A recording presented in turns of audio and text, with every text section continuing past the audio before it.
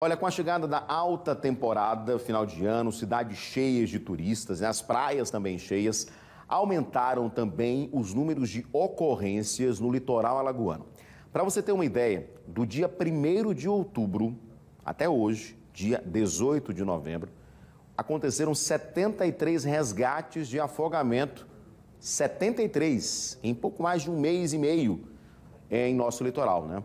Esse número mais que dobrou se comparado ao mesmo período do ano passado, quando haviam sido registradas 38 ocorrências.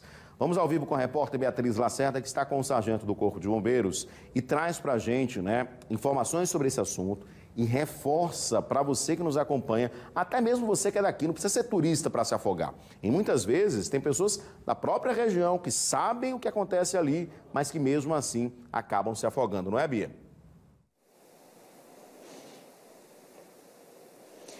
Sim, e é importante a gente frisar nesse dado aí que você trouxe, né? Um dado muito alarmante, praticamente dobrou o número de ocorrências, de afogamentos, de resgates dos bombeiros aqui na orla toda, não só em Maceió, como em todo o estado. Então, somente em um mês e meio mais ou menos, né, que foi de 1 de outubro passado desse ano até o dia 18 de novembro, ou seja, praticamente um mês e meio, foram 73 ocorrências, enquanto que no ano passado foi metade disso. Então a gente vai entender agora o que está provocando o aumento desse número com o sargento Rodolfo Marcelo, que é especialista em salvamento no mar, é bombeiro, trabalha com isso há muitos anos. Muito boa noite. Por que, que tem mais gente se afogando aqui na, na orla do estado? Boa noite, Bia. Boa noite, Edson e todo mundo que nos escuta. É um prazer para o Corpo de Bombeiros estar aqui. Bia, o que acontece? Em 2020 a gente estava com a pandemia, então as praias estavam fechadas e ainda assim a gente registrou esse número de afogamentos e resgates. Em 2021, esse foi um período que a gente flexibilizou um pouco a pandemia, o pessoal estava muito em casa, enclausurado, e aí foi buscar o lazer na praia, mas aí acabou esquecendo desse parâmetro da segurança. É importante a gente frisar que os afogamentos em, em Alagoas, eles têm uma, uma, um limite que é o limite da desobediência. Porque ah, em todas as praias que existem guarda-vidas, nós sinalizamos com placas físicas no, fixas, nós oferecemos informações aos banhistas, a quem vai eh, passear nas embarcações para as piscinas naturais, para realizar o seu mergulho, para realizar o seu esporte, como surf, por exemplo. Então, os nossos guardiões do mar, nossos guarda-vidas, eles estão de norte a sul e de leste a oeste também, porque esse dado também ele, ele contempla o interior do estado, pasmem, porque Piranhas é um ponto turístico. E também a gente registra lá situações de resgate e também de afogamento. Pois então... é, a então gente tem dados aqui da Praia do Francês, né, que é o local de maior perigo hoje para o turista, é onde tem maior registro, pelo menos, desse número de incidente, né, de pessoas se afogando, o bombeiro vai lá e resgata, é na Praia do Francês. Só esse ano foram 52 afogamentos com resgate, enquanto que no ano passado, né, que foi o período da pandemia, o senhor colocou aí, foram 15. Então, mais que triplicou somente na Praia do Francês. Falando dessa praia especialmente, tem alguma condição geográfica que aumenta o risco ou não?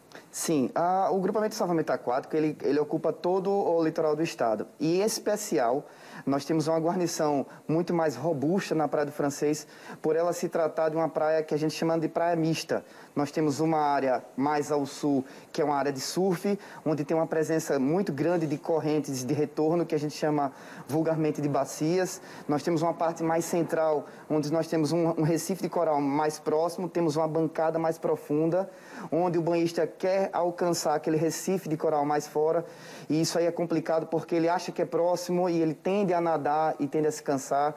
Nós temos uma região mais ao norte, que é uma região de piscinas naturais, onde na maré seca ele, ele alcança facilmente essa piscina natural, mas a maré vai enchendo e retorna. A próxima aos corais do, do, francês, nós temos, nós temos uma corrente de deriva de litorânea. Então, é uma corrente de retorno muito perigosa também, que ela carrega para dentro do mar. Então, em todas essas situações, nós temos rondas a pé firme, nós temos rondas com moto de salvamento aquático, que são os nossos jet skis. Próximo agora, a gente vai ter a Operação Verão. Nós estaremos com outros equipamentos, como quadriciclo, para poder fazer essa esse, esse suporte maior a todos os banhistas e turistas. Então agora com a operação Verão, o número de bombeiros, né, de salva-vidas, ele vai ser maior para poder dar suporte a esse grande público que está chegando já a partir de agora de novembro e se intensifica né, em dezembro e janeiro. Vai ter mais bombeiro? Exatamente. A, a Operação Verola foi startada agora pelo Grupamento de Salvamento Aquático, em comunhão com outros tantos grupamentos, como no norte, como o nosso grupamento de bombeiro militar, que fica em Maragogi, e mais ao sul, em Penedo, e também no interior do estado, que é a parte do sertão. Com a Operação Verão, a gente tende a robustecer os, todos os postos de guarda-vidas com maior presença de guarda-vidas. E somos auxiliados também com a Força-Tarefa de Salvamento Aquático, que é onde o bombeiro militar, ele na sua folga, ele consegue desempenhar essa atividade. A gente está lembrando todos esses dados, viu, Edson? Porque o que acontece? A gente teve dois casos essa semana marcantes. Tá? O primeiro foi o jovem que mergulhou lá no Mar de Guaxuma, o Luiz Everton Tavares Silva. Ele tinha apenas 17 anos. O corpo dele foi achado na última segunda-feira pelos bombeiros. Esse jovem entrou no mar de Guaxuma para fazer um mergulho e desapareceu. Depois de algumas horas de busca, o corpo dele foi encontrado, infelizmente já sem vida. Um menino tão novo, né, com 17 anos. Também nesta semana, isso foi na segunda-feira, no feriado. Na quarta, Três turistas também se afogaram na praia do Francês e teve o resgate do, dos bombeiros, né, na última quarta-feira, lá em Marechal Deodoro, aqui no litoral sul do estado. Veja, na mesma semana, duas ocorrências que chamam a atenção. E agora a gente quer alertar vocês, né, que estão em casa, você que não é só turista, mas que mora aqui, que gosta da praia, né, quem não quer aproveitar esse mar tão bonito que a gente tem. Mas tem que ter cuidado. E a gente tem que estar sempre lembrando, né, Edson, várias vezes ao longo do ano, é importante que o bombeiro fale para a comunidade, para as pessoas que estão em casa terem mais consciência. A criança e o adulto, né, tem que ter cuidado. Não é só a criança que vai lá, né, sargento, e entra no mar, numa parte funda. Os adultos também se arriscam muito. Inclusive, como o senhor falou, vão nas piscinas naturais e esquecem da hora de voltar. Exatamente. A, a orientação, Bia, e a todos que nos escutam lá de casa, a gente agradece a audiência, para que vocês percebam que afogamento ele nunca será um acidente ele é algo previsível. Parece um pouco complicado quando a gente fala isso. Mas por que previsível? Porque quando você leva a sua criança para a praia, você, tutor, pai, responsável, você tem integralidade na responsabilidade com essa criança. Então, para quando você for à praia com as crianças, um braço de distância deles, eles não podem tomar banho sozinhos. Chega no posto de guarda-vidas, solicita a sua pulseira de identificação para que você possa colocar a pulseira nele. No período de verão é importante também falar na Operação Verão, a gente também tem um combate também a esse número crescente das crianças perdidas. Então, ó, aos senhores pais, é, misturar álcool com lazer na praia não é legal, a gente perde a percepção da, daquela situação e a gente acaba se colocando em risco. A partir de que idade você pode deixar a criança tomar banho sozinha no mar? Não, o ideal é até 10 anos, 12 anos, a gente está sempre acompanhando com 12 anos, ainda assim supervisionando. O ideal é que com essa idade ela tenha uma aquacidade, o que é isso? Ela aprenda a nadar, é uma das ferramentas mais preventivas contra afogamento e é o maior ensinamento que a gente pode deixar para os nossos filhos, é a natação. Então, é supervisão, Bia. além de tudo, é, é entender que é um pedaço seu que está ali e você não pode deixar o seu maior patrimônio, que é o seu filho, ah, exposto. A gente também costuma ver que tem sempre aquele que vai lá longe, né, nadar, porque tem menos gente perto, aquele que se arrisca mais, mais, porque sabe nadar um pouco melhor, não quer ficar perto daquele grupo que fica ali geralmente na mesma altura, né? na mesma faixa do mar. Tem sempre aquele que vai mais longe. Qual é o risco que essa pessoa corre mesmo sabendo nadar? Verdade. A gente agradece a pergunta porque, assim, por curiosidade, é, não se afoga aquele que não sabe nadar. Pelo contrário, é como você bem frisou. As pessoas, por saber nadar, querem se arriscar. Então é, é, sempre nadar paralelo à areia, próximo, né? Com água no umbigo você já consegue realizar uma natação com segurança. Então cansou, você vai colocar o seu pé firme e vai estar no local onde você terá esse suporte. Então, chegou na praia, procure os guarda-vidas para sinalizar o melhor local para banho, verifica e obedece a sinalização preventiva de afogamento está com a criança, solicita a pulseira conosco, que a gente vai estar tá ali a qualquer hora, a qualquer tempo, em qualquer mar, fornecendo todo e qualquer suporte para garantir a segurança dos nossos banhistas. Se vocês pedirem para a pessoa sair, a pessoa faz que não ouviu, né? Faz ouvido de mercador, como se diz. Diz, ah, daqui a pouco eu vou, depois eu saio e resiste. O que, é que pode acontecer? É, Bia, isso é complicado. A gente registra, inclusive, várias, várias situações onde o banhista se afogou e a gente já tinha alertado ele, a gente já tinha realizado o salvamento dele pela primeira vez, ele se afogou, a segunda. Então, assim, é, não cometer esse desacato com a informação, com essa, esse ato de desobediência, ele pode levar a um, uma situação de afogamento, inclusive até a morte. Por isso, a gente evita e pede, clama, na verdade, a você que nos assiste que aqueles militares, bombeiros militares que estão com o seu fardamento lá e estão trabalhando na, na, no salvamento, eles só querem o seu bem. Muito obrigada, viu, Sargento, pelas suas informações. Agora eu tenho só alguns últimos dados aqui que eu queria trazer para vocês que estão em casa. A gente falou tanto, né, Praia do Francês.